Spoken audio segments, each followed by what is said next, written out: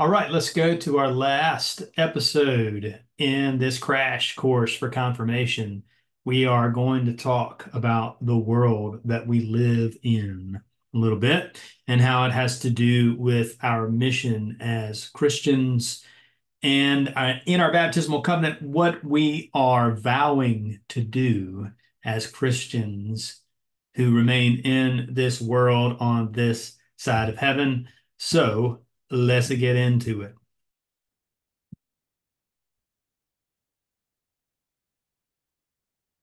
All right. So we're going to do a little bit of world talk.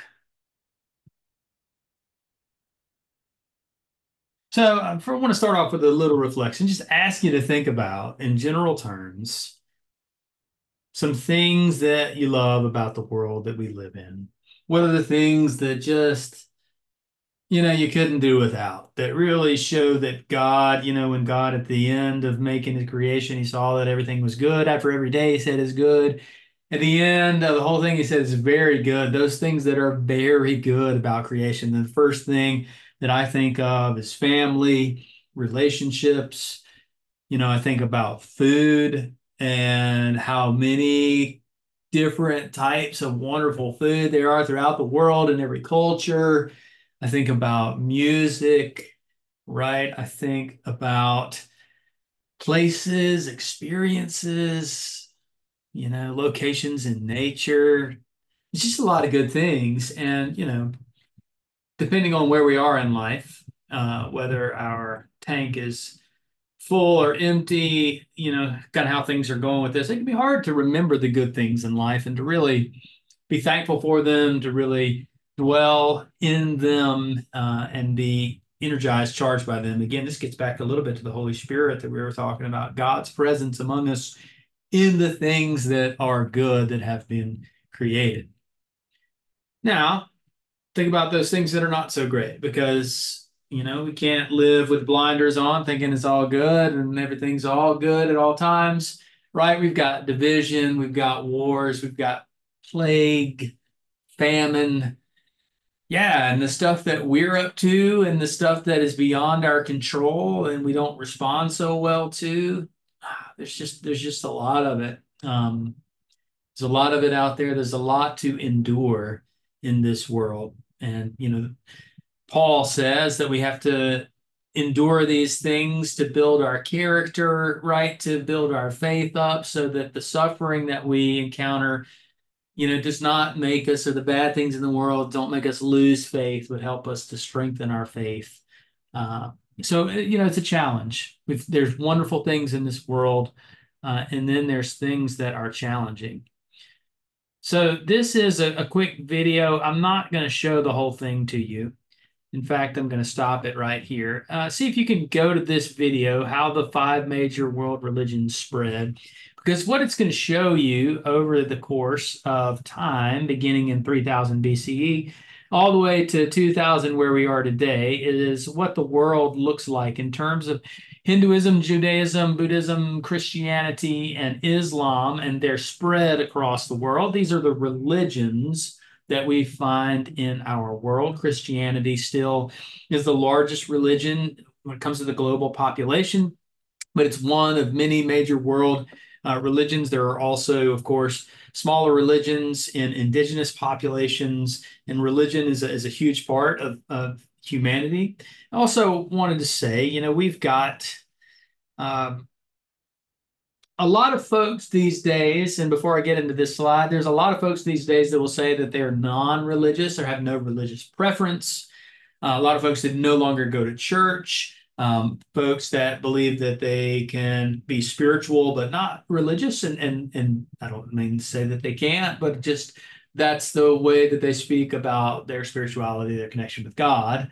Uh, it's kind of absent of the church, and that's a growing number in the population. And of course, it most often happens when folks leave the church after their childhood and decide that they're not going to continue with that um, on and on. So this again speaks to what we're doing here and vowing, you know, to try our best with God's help uh, to continue to be a part of the church uh, right? And to continue, even despite the way the world is going, how things are shifting, Maybe the people that you know as you grow up won't go to church anymore. You know, are you going to be like them, or you know, or is this baptismal covenant going to be on your heart? This vow going to be in your heart to to continue on? So all of this is stuff to pray about. And as we think about the world, we come to this question in the baptismal covenant Will you seek and serve Christ and others, loving your neighbor as yourself? And this gets back to the word that we learned in the first episode doctrine.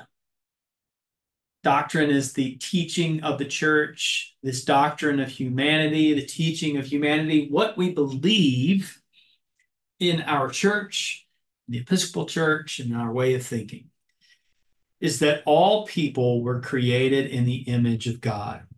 We get that from Genesis when it says that male and female created in the image of God.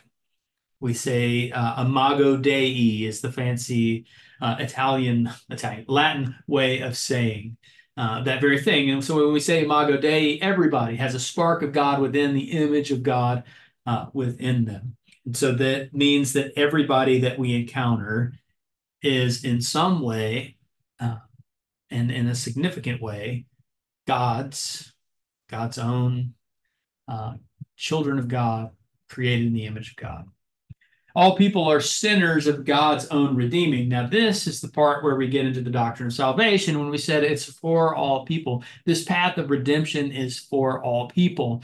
And so when we encounter a stranger, not only are they someone we've never met, they're also created in the image of God and the center of God's own redeeming. And the way that C.S. Lewis said it is we've, ne- we've never met a mere mortal. Everybody that we encounter is immortal, right? And that way, like God. And so deserving of our respect. And we're called, therefore, to love them, to seek and serve Christ in them, that part of God that is in them, and love them as we love ourselves. Of course, that means you got to love yourself too, which can be hard. Um, but that's another episode, I guess. So when we seek and serve Christ, we believe that, and it's just the same slide again. So if, just in case you wanted to read that again, um, we're carrying out the mission of the church. And this is the next vow in the baptismal covenant. We you strive for justice and peace among all people and respect the dignity of every human being. Every human being, all people, I will with God's help. The mission of the church is to restore people to unity with God and each other in Christ. The church carries out its mission as it prays, worships, proclaims the gospel, promotes justice, peace, and love. This is the hard work that we're called to do. You see that? Restore people to unity. I mean, think about the number of ways that people think about life what's important, which groups they should be in, which ones that they should avoid, what kind of thinking is right, what kind of thinking is wrong, whether that be political, economic, social, whatever it is, all of these ways as humanity, as people in the world trying to figure out what's going on, that we divide into camps. We divide into tribes and we say, this is the right way, that's wrong we say that above and beyond all of that, we've got to strive for justice and peace among all people. And that at least means that justice be done, right? If there is wrong, then it needs to be righted. And if there is war, we need to seek after peace. And if there is conflict, we need to seek after resolution. And then again, respect the dignity of every human being. If every human being is created in the image of God and a center of God's own redeeming, every human being reserves deserves respect and dignity.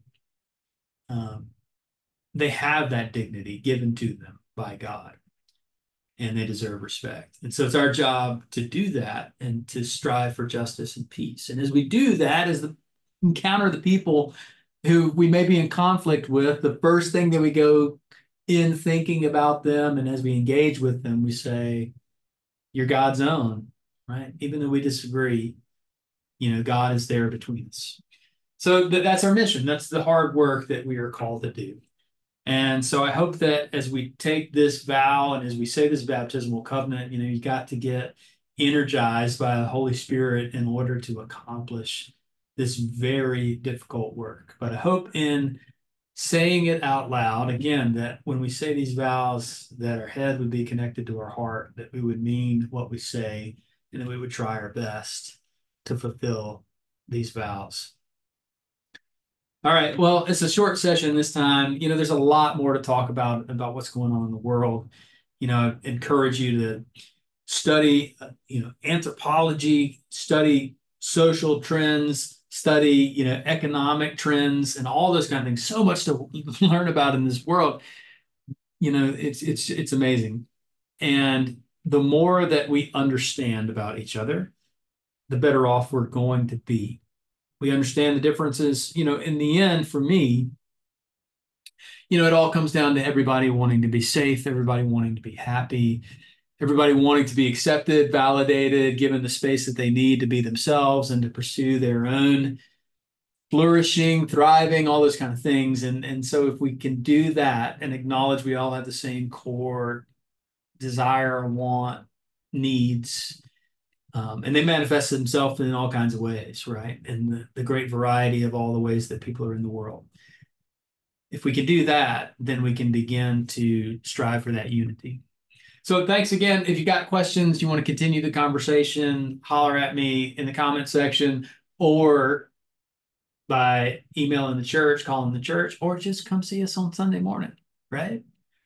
All right, you have made it. Congratulations. If you're at this point and you've gone through all three, then I hope you've learned a little bit more about God, the church, and the world, and you've learned a little bit more uh, about what you need for confirmation and in order to again say these vows and take these vows seriously uh, as you say them in the gathered community of the church with the bishop present uh, and we all do our best with god's help uh, to live out the baptismal covenant. Thank you and peace